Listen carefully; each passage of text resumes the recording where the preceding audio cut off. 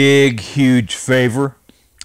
After after you watch my video here get your family get in your car do not take nothing out of your house.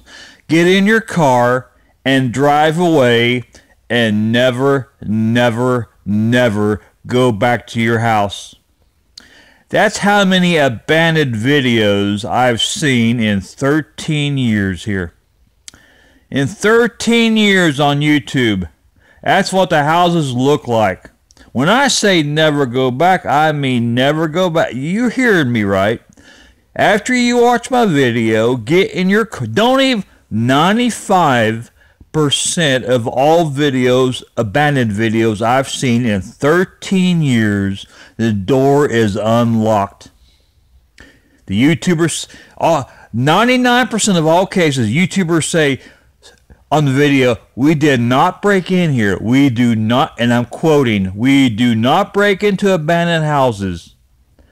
The door was unlocked. So, after you watch me here, get your family, do not touch nothing in your house. Get your family, get in your car, leave your door unlocked, get in your car, and never, never, never go back to your house. That's exactly how many abandoned homes I've seen in the United States alone in the last 13 years.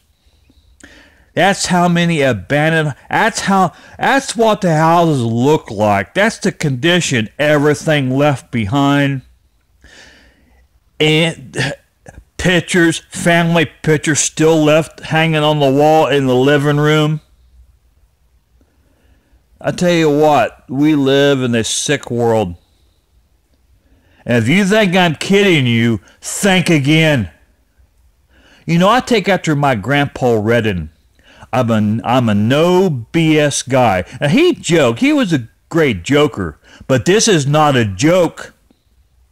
I'm a no BS guy, which means you can trust my word. In 13 years, I've been watching these videos of, of abandoned houses. That's what these houses look like. Everything left be closed. I've seen YouTubers point the camera down on the carpet, clothes with tags on them, still laying on the thousand he did this one YouTuber asked his wife because he what's these clothes worth? He, she said there thousands there's thousands of dollars of clothes laying here on the floor with tags still on them.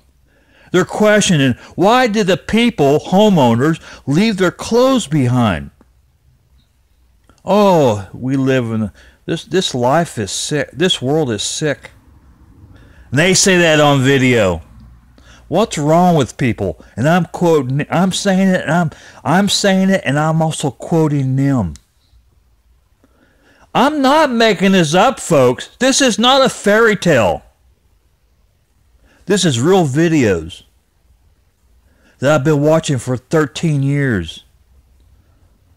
It looks like they just got up and left and never came back. Sorry to blow your headphones off, but how much louder can I get to make you understand? It's a crying shame. Weeds growing up. I guess the homeowners, it would cost them nothing every two months to take their mower and mow in the They own it. Well, don't they mow the grass? Keep it ha- looking halfway decent. Park an old car in the driveway. Make it look lived in. Nope. 99 99%. Oh, there's cars there. Weeds are five foot high. You go in a home, you're fooled. Beautiful. It's been abandoned 15, 20 years. It blows my mind. It blows the YouTubers' minds. It just. We're it's just so messed up. Damned messed up.